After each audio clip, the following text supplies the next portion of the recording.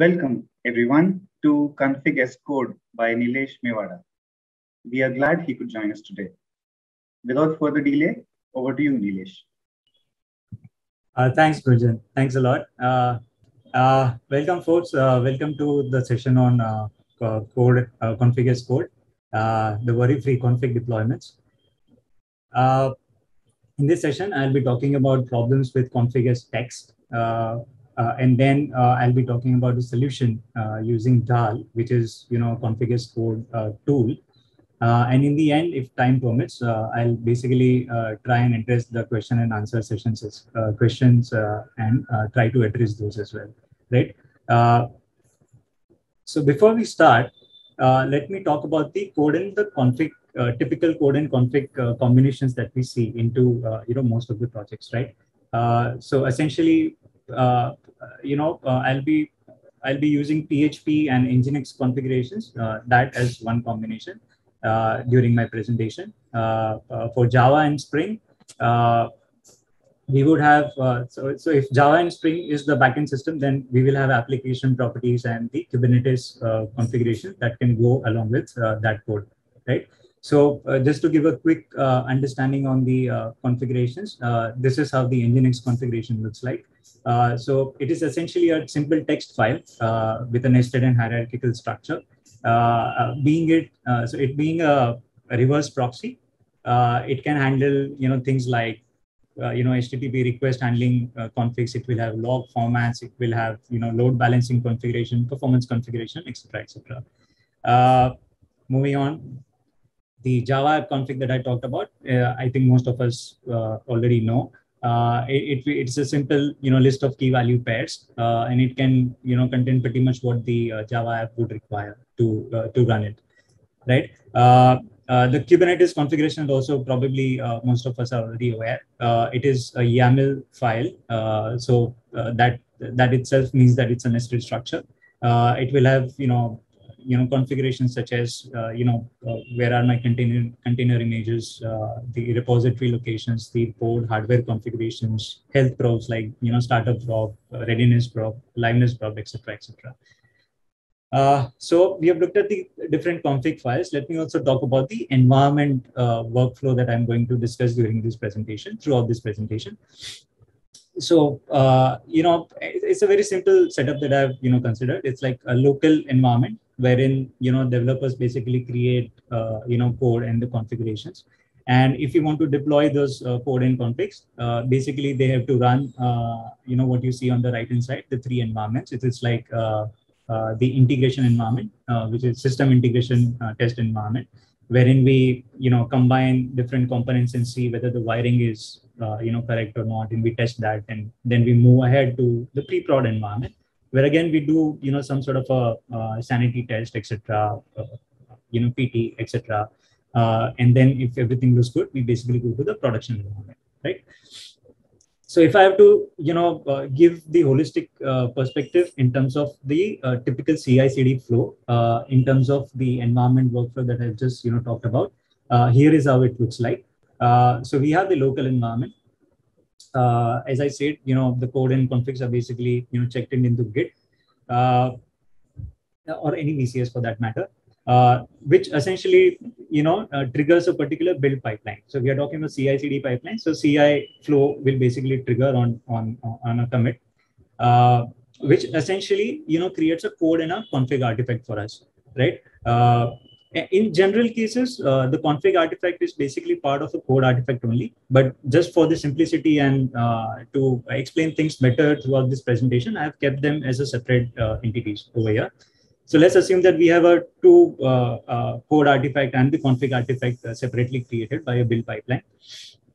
and if we want to deploy that in the environment workflow that I just talked about in the earlier slide, we basically, you know, add this uh, combination into an environment first. We test it. If it looks fine, uh, then we you know introduce the same combination into the next environment and so on. And that is how we ultimately reach to the prod prod environment it is basically that we test this uh, config and code together into a particular environment, right? So that is uh, the main point out here. So having talked about you know different nginx uh, uh, so different configuration files uh, you know a typical ci cd flow and the work environment flow uh, now let's uh, you know start looking at uh, the config text right? And how it basically influences our typical setup that we just talked about right? So what why it is a config text? First of all let's clarify that it is config as text because uh, all the configurations that I just talked about right earlier, uh, those are basically text files, as simple as that. And we basically, uh, uh humans are basically managing those uh, text files. And in config as text, uh, since we have, so for each environment, we would be having a separate copy, right? so for example, local will have its own copy of the config.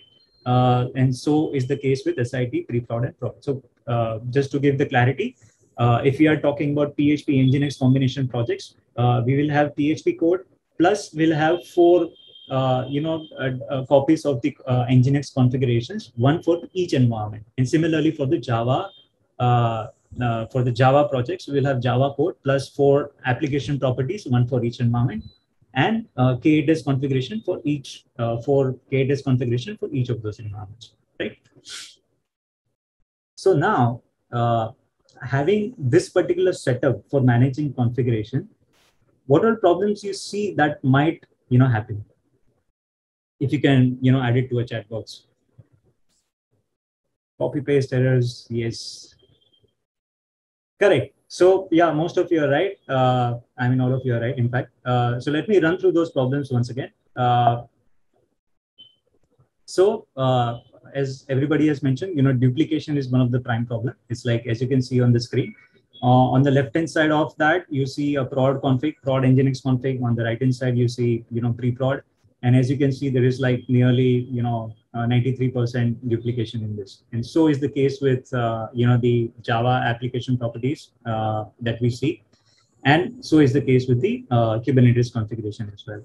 Uh, by the nature of how we manage this uh, config as text uh, configs, right? Uh, we generally so we have such huge files to manage, right? So generally, uh, as humans, we basically you know try to copy paste uh, to manage all these different versions of files, right? Uh, so it naturally falls into you know having some sort of a copy paste errors. so something like you know pasting pasting at the wrong place. so as we see in this example, we have pasted something before this operator rather than after after it. Uh, similarly, we might have a problem of you know pasting it multiple times. Uh, like in this example, we have uh, by mistake uh, uh, pasted it a couple of times instead of just once. similarly, we might you know might be facing a problem like you know forgetting to you know press Control key while pasting. So how we do a typical copy paste is Control C, Control V. But just in case while doing Control V, if we forget to press Control, we might see you know problems like you know having this letter v uh, you know spreaded into our config files uh, randomly. Uh, it is quite hard to spot over here but then yeah this is also one of the problem. On the similar lines again if we uh, the, the cycle is like control c control v and control s. Uh, so after we paste we basically save it. Uh, and again in that case if we you know forget to uh, press control key, then we will have this letter S also, you know, appearing into a configuration file, which is also uh, uh, might create a problem, right? Uh, another one is like, you know, uh, having wrong values. Like in this case, instead of rolling update with double L, we have a rolling update with a single L, which is a, which are like the misspelled values. Um, another, you know, common problem is like we forget to add, update, or remove a particular piece of config uh, into uh, other environment config files. Like for example, in this, uh, on the left-hand side, we see that there is one block that was supposed to be part of a pre-prod configuration.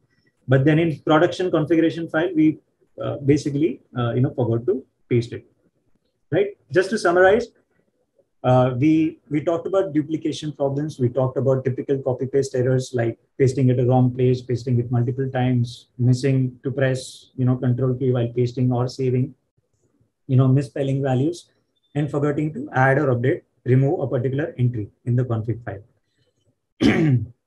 so having talked about this, right? Do you think so? These are the problems, right? But do you think we have any more problems to deal with when, when we are using CAT. Just think about it. I'll take a quick pause.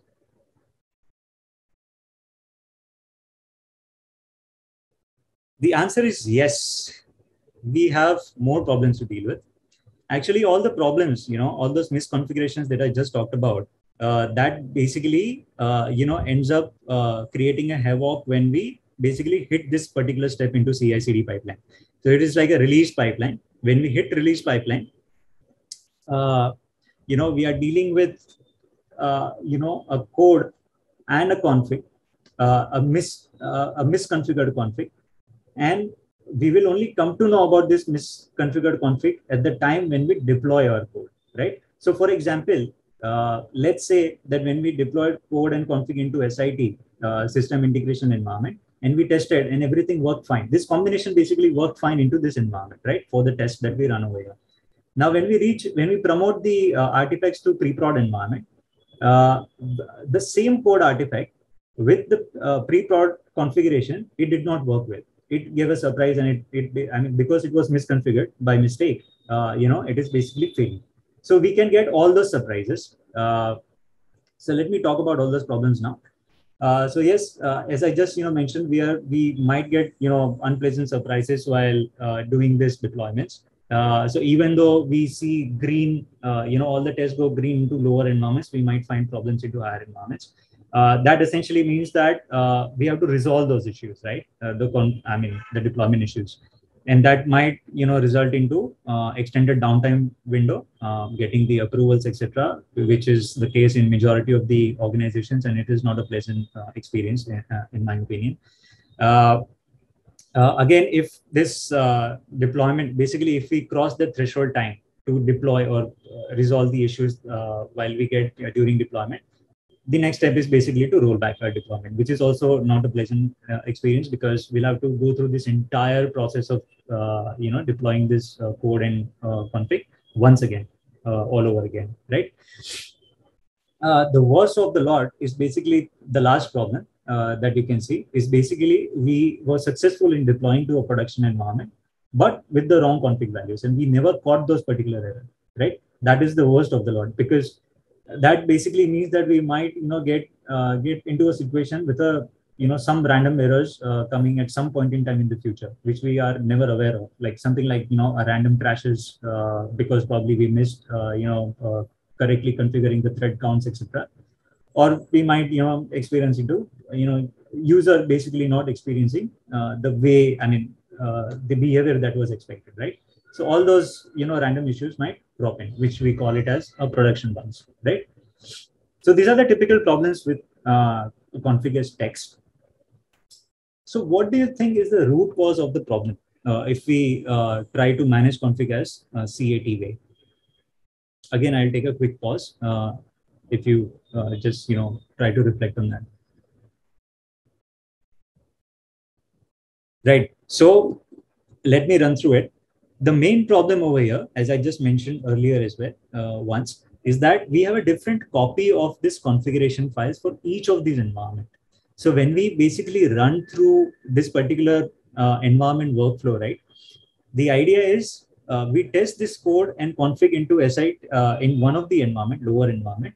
But as we reach the next environment, we get the different copy of the config which is never tested before into all the earlier uh, lower environments, right? And same is the case with the prod environment as well. Once we reach over here, if this is misconfigured, we have never tested that particular piece ever before. And that is what the problem is, right? That is the root cause of the problem. So how do we solve that problem, right? Uh, the idea is essentially we should have a single source of truth for all these configuration files. What I mean by that is we should have a single source uh, from where we can create all these configuration files for all the environments rather than managing a different copies, uh, copies of those, right? For that, uh, essentially we use config as code uh, as a tool. And uh, what we do into that is uh, essentially as we write code like Java code or PHP code to create your business functionality, right? essentially, we we write a code using this CAC tool uh, to uh, generate this configuration file. So it is basically a code that we manage rather than the raw configuration files that we manage. So let me show you how do we do it. Let me show a demo, quick demo of that.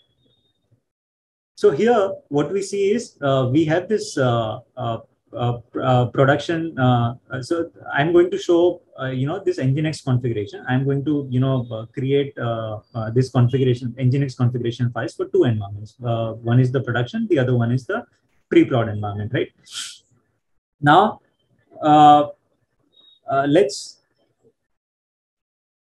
let me actually go through, uh, you know, a bit of, uh, you know, Dhall, uh, Dhall details uh, we may not be able to uh, basically cover in the interest of time, but then let me just you know go through it. Uh, so in Dhall, basically we have this small small functions uh, that we uh, write to create a particular.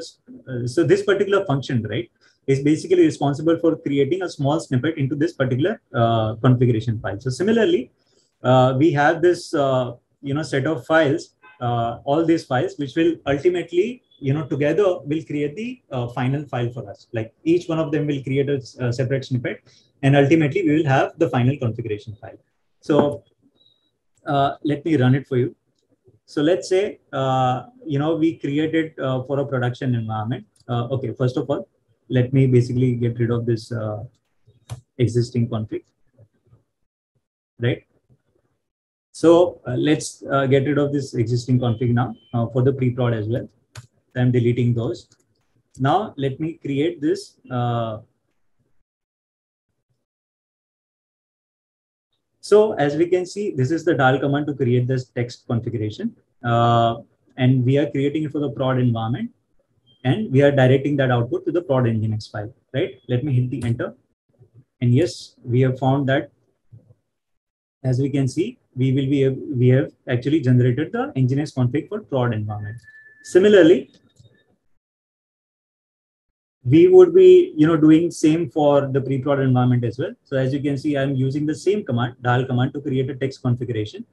Uh, but this time uh, i'm using a pre-prod environment to create it. And i'm just you know directing that output to uh, pre-prod nginx conf file right?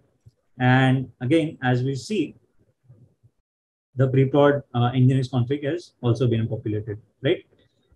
So this is how we basically uh, you know generate the configuration so just to you know recap on that, uh, we uh, so we use Dhall. Uh, we use those Dhall commands in the build pipeline to create this code and the config artifact. So instead of managing it manually, it is basically a CAC tool which basically creates all these configurations for us. Uh, and how we are addressing the problems of CAT is like this. So duplication is gone because we are basically using a code. So as we manage the uh, backend code, we manage this uh, using the simple functions and structures, and that promotes reusability. So there is duplication is gone. Again, copy paste errors and you know other uh, errors are basically gone. Uh, it's gone out of the picture because it is the same code that is going to create uh, config for us for each of the environments. So if it is creating the right file for one environment, it will create for uh, the right file for the other environments as well. Typing errors might happen, but the idea is that we would be able to catch those errors earlier in the environment. So basically, instead of a late feedback, we will get an earlier feedback. And yes, Dhall basically provides more benefits. So there are a lot of benefits as you know listed over here. You can basically get more, much more information on this particular site. So, uh, so basically go to dhall-lang.org and you'll find more information about it. Uh, so that's that's it from me. I hope that you enjoyed this particular short session on this. Thank you, Nilesh, for sharing your experience with us today.